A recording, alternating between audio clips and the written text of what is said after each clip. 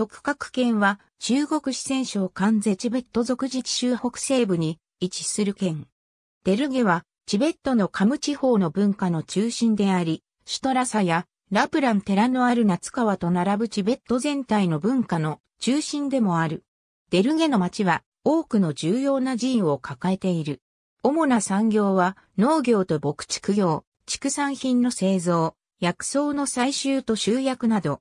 ゾンサル寺の円形デルゲは中国とチベットの間で茶と馬を交換する交易の通過地であった。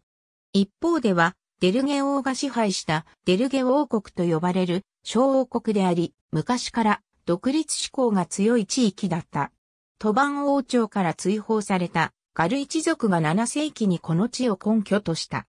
1448年には第一代デルゲ王ボタルタシセンゲと行者タントンギャルポがサキャハの寺デルゲゴンチェンを創建する。18世紀、ダライラマ7世が一時亡命していたことがある。また、18世紀のデルゲオテンパツェリンは、チベットオークラ行のデルゲ版を完成させている。経典を印刷するデルゲバルカンがある。1729年に創建された、この建物は4階建てで、僧侶たちが多くの経典や注釈を現在も木版印刷で彫り続けている。デルゲバルカンをはじめ各自に保管された木版は、チベットの重要な文化遺産であり仏教研究上の貴重な資料でもある。また僧院や寺院が多く、特にデルゲバルカンの近くにあるサキャ派の中心となるデルゲゴンチェミやゾンサルデラ、ペルプンデラは有名である。